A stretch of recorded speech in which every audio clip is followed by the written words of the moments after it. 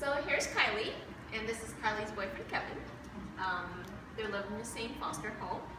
Um, they're doing really well together. You know, if there's ever a chance of a family looking for two loving dogs, I mean, it'll be perfect if they could be together. And of course, you know, um, I know the chances are slim, you know, so they can both be home to different homes. But um, they're both really good. Um, Kevin here is mature, um, mellow, funny, playful, and uh, Kaily here is the little sweet, loving, you know, kind of a little bit sensitive and shy, just very, very little bit. Um, but um, they get along great. They share toy, they share bed, they share love. So it's wonderful.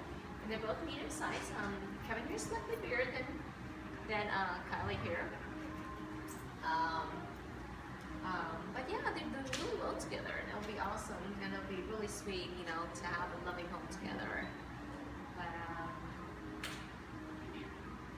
come here, Kaily. Let's see how beautiful you are. Come here, Kaily. That's a good girl. That's a good girl here.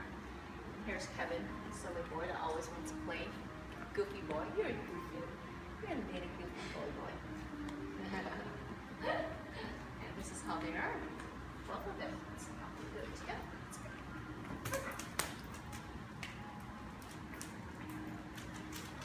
Uh-uh. No, no, no. Gentle on the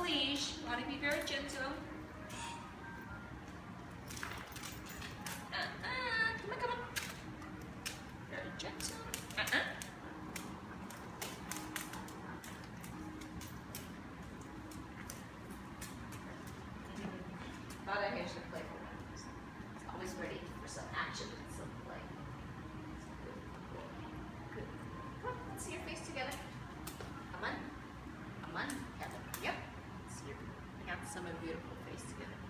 So these are your two loving girl and boy.